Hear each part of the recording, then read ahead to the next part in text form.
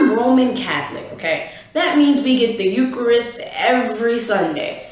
And I can't stand the fact that they expect me to put my mouth on that cup. That's absolutely not going to happen. I'm sorry, boo boo.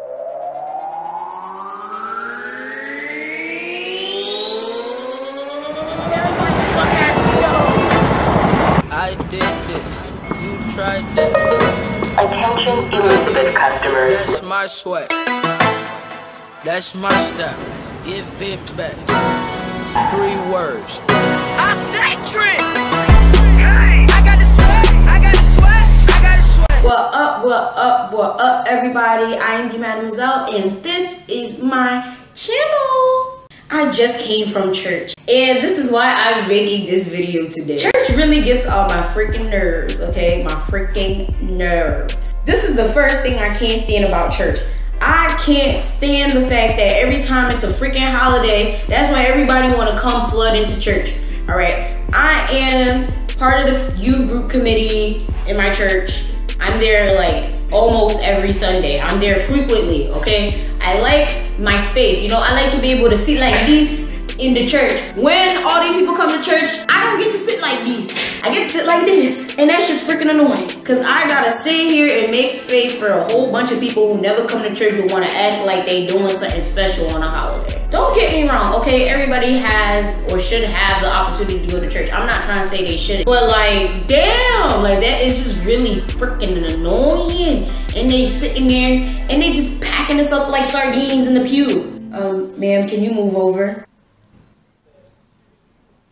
I'm sorry, that should be really pissing me off. I'll be sitting there like, move where? I can't stand how boring church is. Church is supposed to be a place where you connect with God, talk to God, pray, thank Him. I feel like I'll be going to church just to sleep. I'm not even gonna stunt. Like, I really, I I guess it all depends on who your priest or pastor is. But like, sheesh, I can't stand it. Oh, nap time.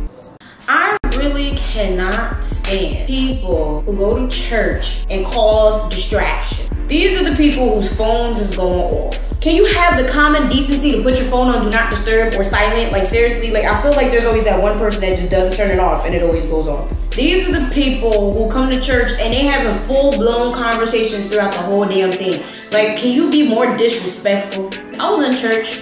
This man phone went off. He's sitting like next to me. Well, not directly next to me, it was my friend, then it's him. Phone goes off. He answers the phone.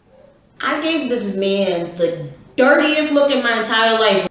Can't be serious right now. You can't be serious. So then he looks at me, looking at him, looking at me, and I'm just like, he finally gets off the phone, but everything in the name of Jesus took me not to go off of this man. Like I really was gonna go off on this man, but Jesus said no.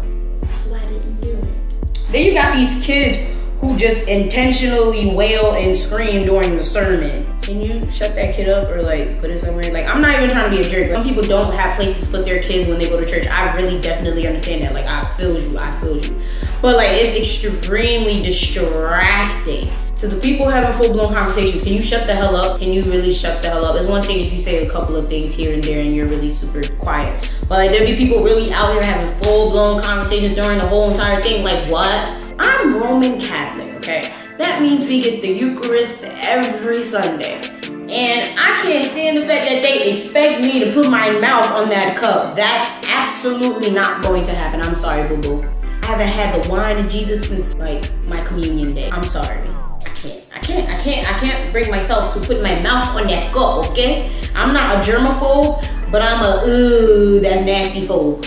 Or, yeah, I don't think that's weird, but you get the point. Oh, when the priest comes and they, they throw that holy water on you, I don't know, I'm, I think they do this at most churches, not just Catholic churches, but they, they get that thing and it, it's spraying water on you. I be feeling like I'm taking a whole nother shower. I don't understand, like, I, baka hold on. Like, can y'all not? They should get a spray bottle. Maybe they should get a spray bottle, put the water, you know, the holy water in the spray bottle and, you know, maybe. I go to a Catholic church, which means it's way shorter than the average. I'm like, you know, usually I get out an hour, hour and a half. Boom, right? Then when a new priest comes to preach, gosh, when there's a new priest, I don't know what's gonna happen?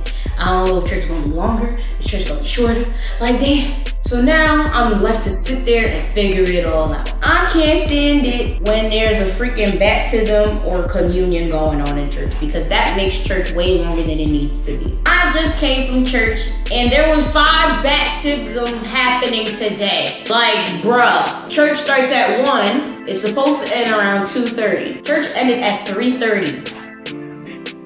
Church is already short. I don't want anything making it longer, okay? I do not want anything making it longer than it has to be. Parce que moi-même, ma vle là pour tout temps ça, pour m'attendre, pour parler, then I get baptême sous bail encore. I don't want to sit there and watch that. No, I'm sorry. Like, I'm trying to leave. I'm trying to pray. I'm trying to leave. I'm to see you guys next time. I hate church announcements. Church announcements take up a good 20 to 30 minutes of church. In my church, the deacon gets up, says all the announcements. And then the priest gets up and says the whole thing again. Says the same exact thing that the deacon just said. Like, do you, do you have to? Do you have to do that, sir? Can, can I go home? Can I? I can't stand people who go to church dressing like they're going to the club. Know damn well we all know what's appropriate and what's not appropriate for church. We should all know that our boobs aren't supposed to be out. We should all know that our shoulders are not supposed to be out. You're supposed to put something over it. Like these are things that you should have common sense about. Like I, I don't understand. I don't get it. I can't stand men who come to church looking for girls. I understand you think you could find the best woman in church, but like seriously, honestly, that's where you find the worst. Sorry, just saying. And that's not a reason for you to be coming to church. Like, I, I don't understand that. Like, you're just coming to prowl on women. Like, that's disturbing. And God will punish you for that. Well, that's it for most of the things that I cannot stand about church. Like, share, subscribe, do all that. I'm Thee Mademoiselle, and this is my.